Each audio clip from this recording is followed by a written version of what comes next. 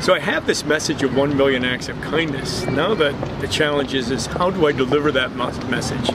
And I came up with the school bus on Craigslist. Bogart I found on Craigslist as well. And the guy that designed the logo found on Craigslist. It's amazing the internet, what we, what we can do with the internet. So now I have my message, now I have my vehicle. And what I did, I started off three and a half years ago traveling the country in this bus. I got rid of everything. I got rid of my house, my car, my furniture, my clothes. Bogart and I live on this bus last three and a half years. 7 by 12, 84 square feet. There's not much in it. There's a bed, a kennel, and a place for my bus.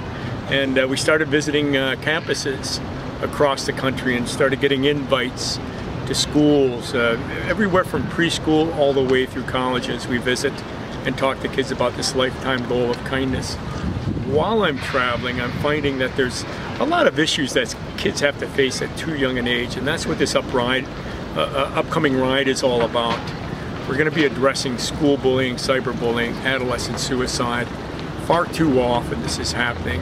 And kids just, you know, I, to me, you know, I've got three kids, they're grown, they're in their 20s, but there's too many challenges at too young of an age for a young, young mind to comprehend and to process. And I think that's where some of the problems are, are, are happening along the way.